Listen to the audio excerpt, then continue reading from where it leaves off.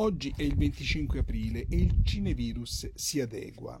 Vorrei soltanto consigliarvi alcuni film.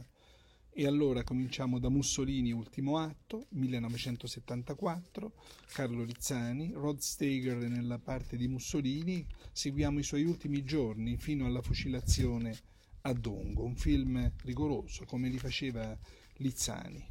Nel 1945 invece eh, Roberto Rossellini gira un capolavoro che è sempre bene vedere e rivedere, Roma città aperta.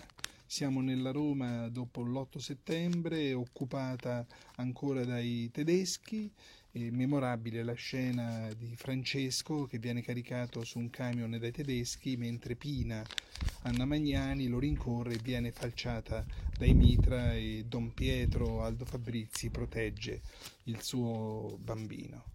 E ancora sulla lotta partigiana c'è un bel film di Guido Chiesa, Il partigiano Johnny, con Stefano Dionisi, tratto dal romanzo di Beppe Fenoglio è un film intenso di crescita, di maturazione morale e civile nella solitudine delle langhe della guerra partigiana fra rossi e azzurri.